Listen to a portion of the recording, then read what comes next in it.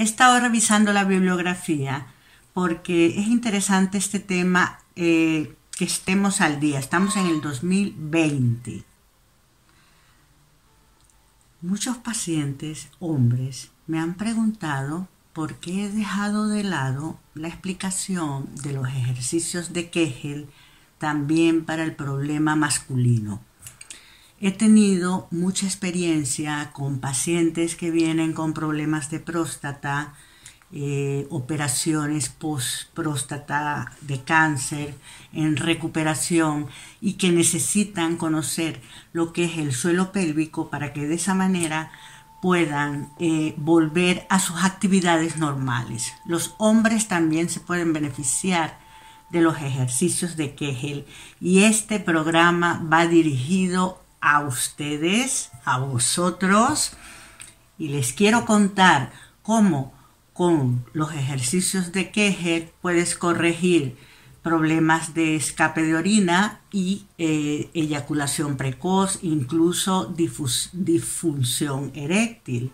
Estos son temas más que todos tratados por los sexólogos. Pero los fisioterapeutas también entramos en esta parte de la ejercitación para poder explicar bien y se puedan obtener los mejores resultados. Quédate conmigo y verás cómo te podemos ayudar con este problema que no se habla normalmente en público, pero que es sumamente importante. La disfunción eréctil, la eyaculación precoz, el escape de la orina, así sea una gotita.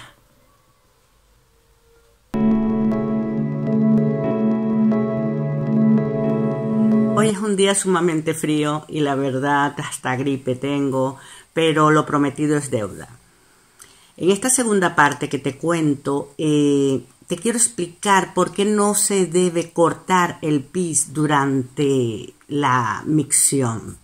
Cuando estás haciendo pipí y cortas esos músculos, eh, los, los reconoces, sí, pero con que lo hagas una sola vez es suficiente, no tienes que repetirlo una y otra vez. Reconócelos una vez y ya sabes cuáles son esos músculos que tienes que contraer y tirar hacia arriba, como lo hace la mujer con la vagina. Eso sumamente importante porque las últimas investigaciones nos advierten de los posibles problemas que pueden haber si la persona se acostumbra a cortar el pis para estar haciendo, cree que está haciendo el ejercicio y no es así. En los ejercicios de suelo pélvico siempre hablo con mis mm, pacientes mujeres y hombres lo importante que es involucrar a la pareja en estos ejercicios. Siempre hablamos como que es algo individual. Nadie va al gimnasio a fortalecer los, los mm, músculos del suelo pélvico. Eh, nadie habla de los músculos del suelo pélvico siendo los principales músculos que debemos ejercitar en nuestra vida para tener una vida sana y poder hacer deporte y vivir normalmente. Pues bueno, les recomiendo en esta parte, que sería mi tercer consejo para hombres y mujeres, que se involucren en el tratamiento, que hablen, se comuniquen de manera tal que incluso durante las relaciones sexuales puedan aplicar las contracciones que les explico en los mm, programas anteriores durante el acto sexual de manera tal que pueda darse un tiempo el hombre para sentir a la mujer contraer y tirar y darse un tiempo la mujer para que el hombre eh, cuando está a punto de eyacular parar, a conversarlo, parar y darle tiempo a que él respire profundo y vuelva a retomar la, la relación sexual dos o tres veces como un ejercicio. Por eso tiene que ser en pareja. No sé si lo he explicado lo suficientemente bien. Hay posturas, múltiples posturas, y todos lo sabemos, y aquí no vamos a hablar de las posturas que se usan eh, cuando estamos realizando el sexo. Pero cuando la mujer se pone encima del hombre, puede controlar ese momento cuando ya él siente que va a, a eyacular, ella puede bajarse y parar y controlar él esa eyaculación con su mente y con su respiración y de esa manera al poco momento continuar y hacer esta práctica varias veces de manera tal que controle ese grave problema. Es el principal ejercicio que mandan los sexólogos y los fisioterapeutas también. Bueno.